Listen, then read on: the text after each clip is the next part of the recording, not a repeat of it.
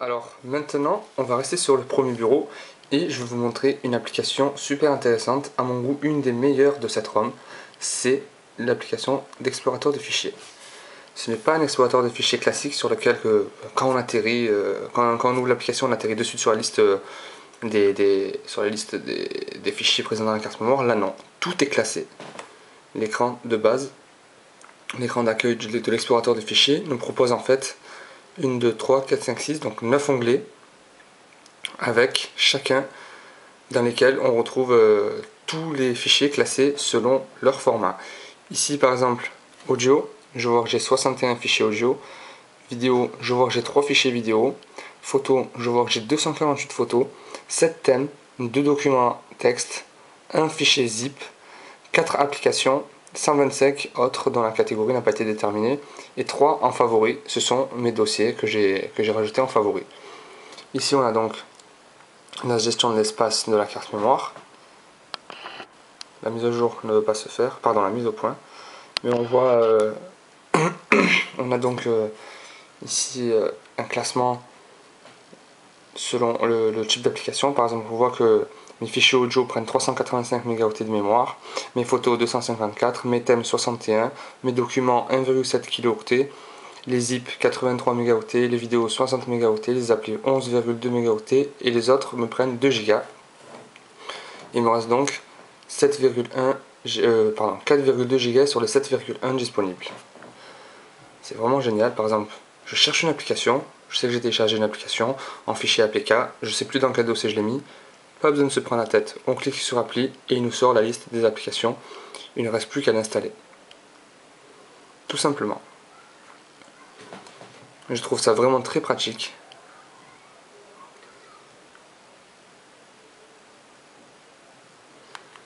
Et voilà, l'application est installée. Il ne reste plus qu'à l'ouvrir et à l'utiliser.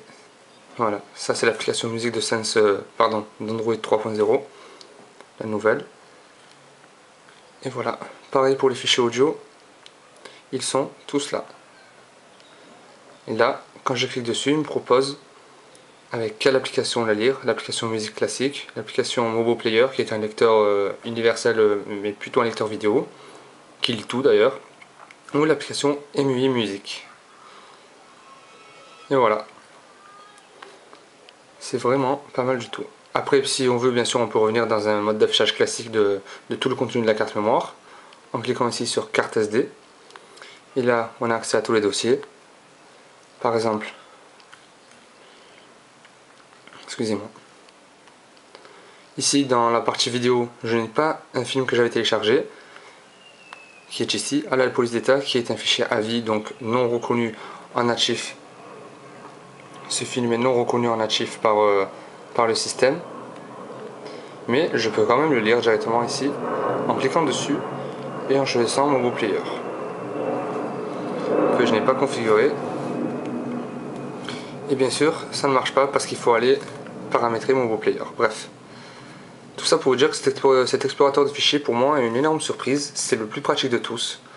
Il remplace un explorateur de fichiers, euh, une application d'installation d'APK et euh, voilà, c'est une application de 2 en 1, très pratique, très rapide, qui, qui vraiment, euh, je sais pas quoi dire, c'est vraiment, vraiment magnifique.